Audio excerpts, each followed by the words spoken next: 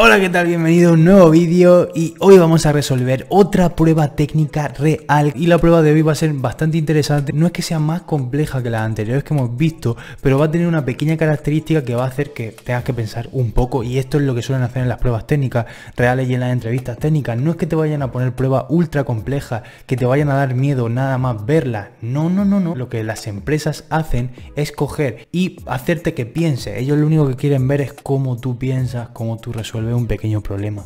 Ya está, porque bajo presión es muy complicado uno enseñar todo su potencial y más cuando no te han dado un proyecto real para que tú vayas trabajando. Eso se demuestra con los días y con los meses de trabajo, no en una pequeña prueba en la cual te ponen 4 o 5 ejercicios, no. Y es que vamos a tener que hacer la prueba técnica sin recurrir a ningún método especial del lenguaje. Pero bueno, eso te lo voy a explicar en el, en el enunciado de ahora. Recuerda que tienes este ejercicio y 50 más en el enlace de la descripción del vídeo donde te enseño a resolver más de 50 pruebas técnicas súper variadas vas a tener para no aburrirte en un tiempo. Así que revísalo y apúntate. Y ahora unas cuantas advertencias. Dentro clip. Lo primero es que los ejercicios están en español por fines didácticos, es decir, los nombres de las variables, funciones y todo eso los hago en español para que sean lo más entendibles posible para el público de habla hispana que yo tengo. Pero en la vida real, cuando te enfrentes a una prueba técnica para un trabajo o cuando estés programando tú en la vida real, te recomiendo que siempre los nombres de las funciones, variables, clases, etcétera, los hagas siempre en inglés. En el curso lo vamos a ver en español única y exclusivamente por fines didácticos, para que todo el mundo lo entienda perfecto y nadie se pierda en nada.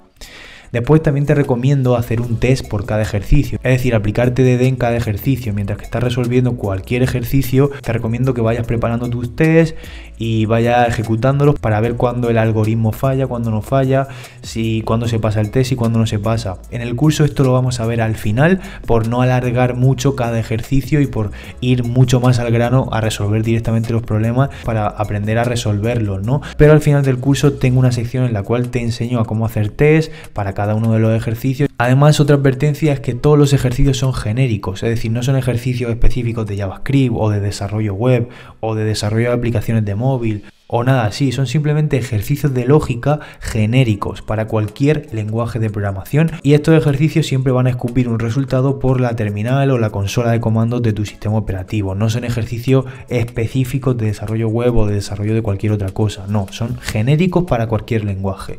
En este caso dentro del curso usaré JavaScript principalmente porque es el lenguaje más popular y el que más conoce la gente, además la dificultad es completamente aleatoria entre ejercicio y ejercicio, es decir, puede haber ejercicios que te parezcan difíciles, otros normales, otros fáciles y así. Se te va a plantear un ejercicio y este ejercicio su dificultad va a ser aleatoria y ya con la lógica que nosotros tenemos tenemos que resolverlo de la mejor manera posible y adaptándonos al enunciado del ejercicio. Y aparte de esto, también comentarte de que hay muchas soluciones válidas, es decir, no solamente la solución que yo proponga va a ser la única posible, no, hay muchas soluciones para resolver el mismo problema, muchos caminos diferentes para llegar al mismo objetivo. Así que no te preocupes si tú implementas una solución diferente a la mía. Bien, ya hemos visto las advertencias, ahora vamos a ver el enunciado del ejercicio y vamos a resolverlo, así que vamos al ordenador. Bien, pues vamos con el ejercicio número 4, vamos a crear el archivo. Ejercicio 4.js. Bien, el enunciado del ejercicio 4 es el siguiente. Dada una cadena de texto, darle la vuelta e invertir el orden de sus caracteres sin usar métodos propios del lenguaje, solo estructuras de control, ¿de acuerdo? Porque sería muy fácil hacer esto, como ya hemos visto en ejercicios anteriores, usar la función split, darle la vuelta con el reverse y luego usar el join para unir. Pero en este caso, en este ejercicio, se requiere en concreto usar estructuras de control para ello únicamente y, y no usar ningún método por defecto que traiga lenguaje de programación. Esto puede ser que en alguna prueba técnica que te hagan te lo requieran, es decir, eh, resuelve este ejercicio pero no eh, utilices tal cosa. Eso puede pasar también en cualquier entrevista técnica o en cualquier prueba que te hagan para entrar a un trabajo. Entonces, lo que tenemos que hacer es crear una función que sea invertir, le pasemos una cadena de texto y no la devuelva y no devuelva el texto invertido. Simplemente así. Fíjate en estos ejemplos. Si le pasamos Víctor, devuelve rockzip ¿vale? Si le pasamos robles, devuelve selbor, ¿ok? No invierte esa cadena de texto, le cambia el orden a las letras. Entonces, ¿cómo hacerlo para cumplir con el ejercicio sin usar métodos por defecto? Lo primero, tener una función con un parámetro cadena o texto, como tú quieras, ¿vale? Luego, crear una variable para guardar la cadena invertida y luego un bucle que recorra el string letra a letra y guarde los caracteres en la variable. Y por último, devolver eh, esa variable. Simplemente es utilizar el for y hacer un bucle for off y ir guardando cada uno de esos caracteres de nuevo en la cadena. Así que si quieres intentarlo tú siguiendo estas directrices o haciéndolo como tú quieras, pues puedes pausar el vídeo e intentarlo tú. En mi caso yo voy a resolverlo ya para que veas la solución. Bien, vamos a tener una función que se llame invertir. ¿Ok? Y le vamos a pasar un parámetro que sea texto, por ejemplo. En esta función lo que tenemos que hacer es lo primero, crearnos una variable que se llame invertido, que es para guardar aquí el texto invertido y la vamos a inicializar con nada dentro. Entonces lo que tenemos que hacer es recorrer el texto que nos llega. ¿Cómo lo hacemos? Hacemos for, vamos a crear for let letra of texto, ¿vale? Y esto lo que va a hacer es recorrerme todo el texto y sacarme cada letra del texto, ¿vale? Si hacemos un console log de letra, y ejecutamos la función y le pasamos y le pasamos cualquier texto en plan victorroblesweb.es, ¿vale? Si le pasamos ese texto y yo ejecuto mi función en la terminal aquí de Visual Studio Code para verlo rápido, eh, pues ejecuto por ejemplo node ejercicio 4.js, ¿vale? Veo que el bucle, este bucle en concreto, me muestra cada una de las letras, me saca cada una de esas letras, ¿vale? Eh, a diferencia de si usar el for in, veo que si ejecuto el programa me sacaría el índice. El for in me saca el índice de cada una de esas letras y el for off me saca los valores de cada una de esas letras. Cualquier string puede ser trabajado como si fuera, fuera un array o un arreglo o una matriz, ¿no? En este caso así es, ¿vale? No hace falta convertir este texto en concreto a un array para poder trabajar con él y recorrer cada una de sus letras. Lo podemos hacer así también. Ok, pues ya tenemos cada una de esas letras usando el for off, ¿vale? Ahora lo que tengo que hacer es guardar cada una de esas letras dentro de la variable invertido. Entonces tengo que hacer invertido y tengo que darle un valor y el valor que le tengo que dar es el siguiente. Tengo que poner delante cada una de las letras nuevas que yo vaya recorriendo. Es decir, la letra que esté recorriendo en este momento la tengo que poner delante mm, de la letra anterior. ¿Ok? O del texto anterior que yo he recorrido. Imagínate que ya he recorrido esta parte de Víctor, ¿vale? Pues yo lo que tengo que hacer es poner cada letra nueva al principio, ¿vale? Yo pongo primero, pongo primero eh, la V, ¿vale? Luego, la siguiente la recorro y la pongo primero. Y la siguiente la recorro y la pongo primero. C, la siguiente la recorro y la pongo primero. Y así, ¿vale? La siguiente la recorro y la pongo primero. Y así es como le puedo dar la vuelta. Claro, si yo hago más igual, si yo hago esto, invertido más eh, igual letra, lo que hace es concatenarle a la cadena ya por defecto, le concatena, eh, le concatena la letra en sí. Y esto no nos va a sacar el texto invertido, sino que nos va a guardar de nuevo letra a letra, em, nos va a ir concatenando letra a letra dentro de la variable invertido, pues las letras en el mismo orden. De forma de que si yo hago un console log de invertido en este momento, voy a ver que si lo ejecuto aquí en la terminal 4.js, veo que me saca el mismo texto, me ha vuelto a concatenar de la misma forma.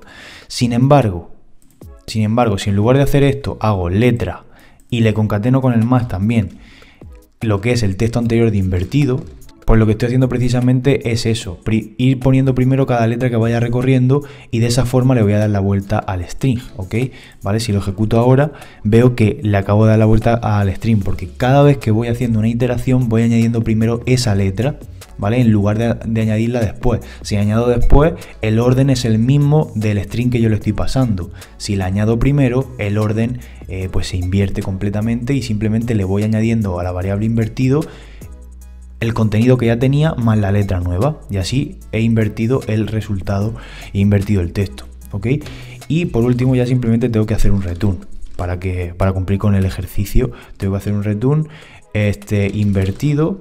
Y así pues voy a devolver aquí mi string invertido. Luego también pues tendré que hacer un console log por aquí para ver el resultado. Texto invertido.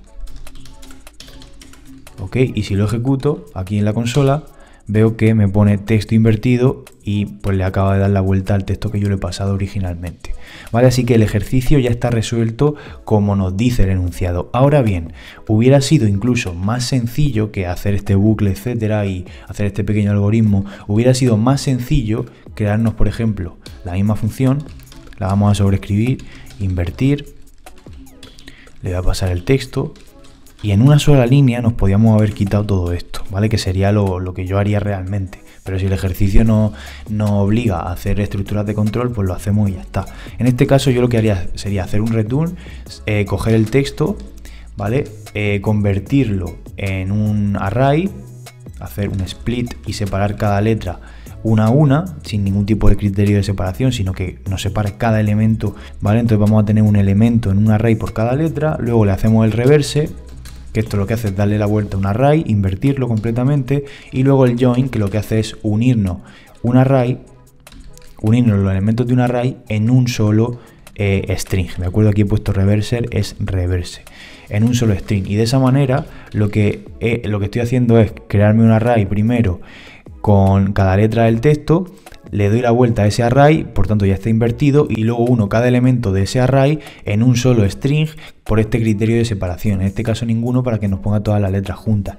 Y de esta forma el resultado va a ser exactamente el mismo, es decir, si yo lo ejecuto en la terminal, no de ejercicio 4.js veo que me genera ya un problema porque estoy escribiendo mal. Esto, he escrito reserve y reverse esto siempre te puede llegar a pasar, estás escribiendo lo que sea no te das cuenta y escribes algo mal y entonces pues te salta un error, pero bueno, lo arreglamos y así vemos cómo se hace y lo ejecutamos y el resultado es exactamente el mismo. Bueno, ya hemos resuelto el ejercicio. ¿Qué te ha parecido? Ha sido bastante interesante porque el tema de coger una cadena, darle la vuelta, sin usar ningún método en concreto que tengamos dentro del propio lenguaje, es algo que te hace pensar un poco, ¿cómo lo hago? ¿Qué bucle utilizo? ¿Cómo le doy la vuelta? Tal. Porque a veces te ponen ese tipo de, de trabas, ¿no? A la hora de hacer un ejercicio, de una prueba técnica. Te dicen, no uses tal método o hazlo de X manera para que vean que sí que puedes hacerlo de una manera o de otra, ¿vale?